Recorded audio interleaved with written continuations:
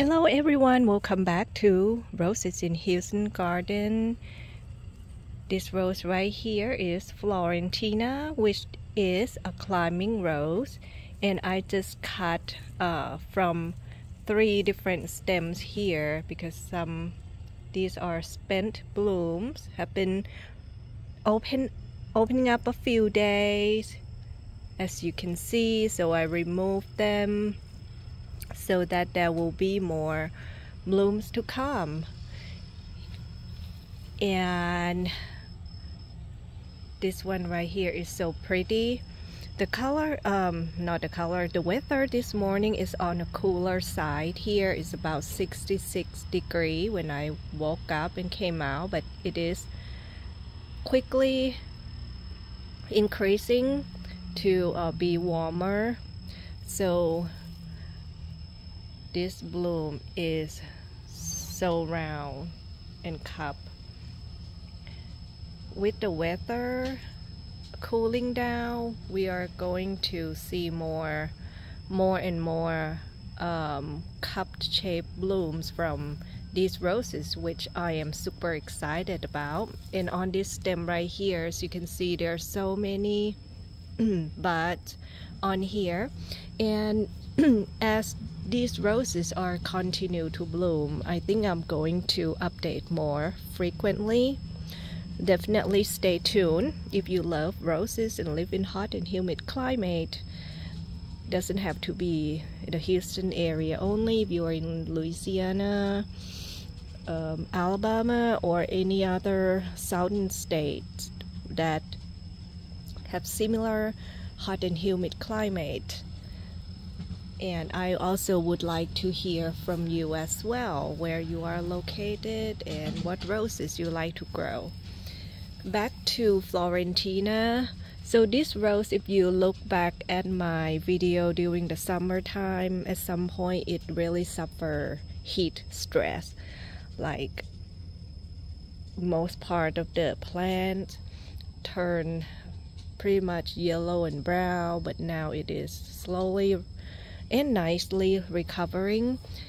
Uh, this stem right here it has new growth which is so lovely.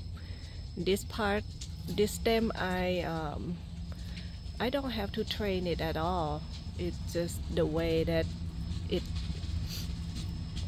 the stem that grows from here right?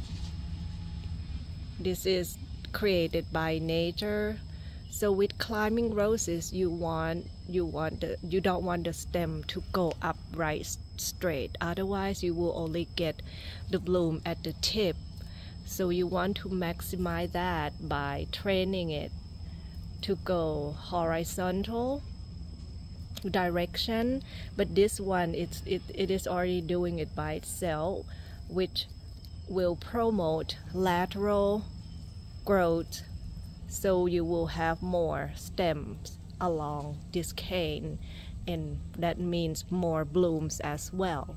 Same as uh, this stem right here. The sun here you go. So this one right here is doing the same thing. It has lateral growth along that line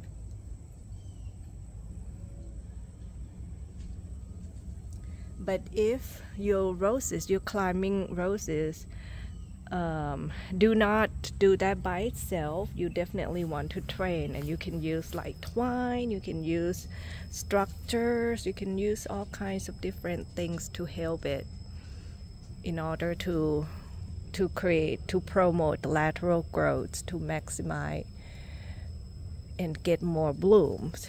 Like this one here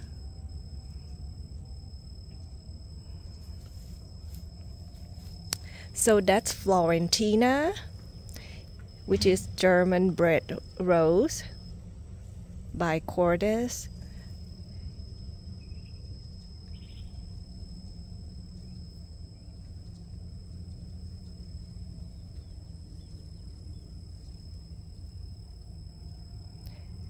And if you're looking for more tips and how-tos as far as how I care for my roses, you can check out rosesinhouston.com.